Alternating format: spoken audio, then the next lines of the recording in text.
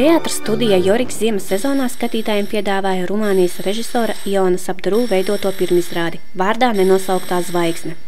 Latvijā Lugas iestudējums jau manīts 50. gados, bet 2011. gadā Luga tika iestudēta arī Dailes teātrī. Mūsu režisore Larisa Šukina iestudēja viņa lūgu. Klusā dāvā ar māsas dēlu. Tas bija pagājušajā gadā, un, protams, viņš kā cilvēks, kurš interesējas vienmēr par uh, mākslu, par teātru, viņš uh, vienkārši lasījis internetā, kā tālajā Latvijā ir iestudēta viņa lūga. Viņš uzsaka saraksti. Сегодня вечером мы играем э, гениальную пьесу румынского автора Михаила Себастьяна «Безымянная звезда». Пьеса о маленьком городишке, в котором люди Šovakar mēs spēlējām ģeniālu lugu rumāņu autoram Mihaila Sebastiana vārdā nenosauktā zvaigzne.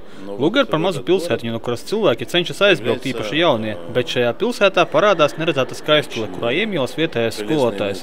Bet saprotams, ka Lugā neviena zvaigzne neapstājas savā ceļā, bet gan dodas projām.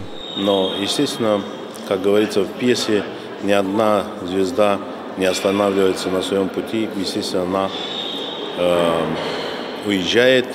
Nacionālo biedrību kultūras nama direktore Svetlana Simiņaka uzsver, ka Lukas izvēle prasīja laiku un pārdomas. Bija jāformulē tas, ko mēs vēlējāmies pateikt skatītājiem. Emocijas, ko sniedza muzikālais un lirikas pavadījums, kā arī dejas, kas tika izdejotas Lukas laikā, aizrāva ikvienu skatītāju uzmanību. Kā jums patīk izrāde? Ļoti labi patīk.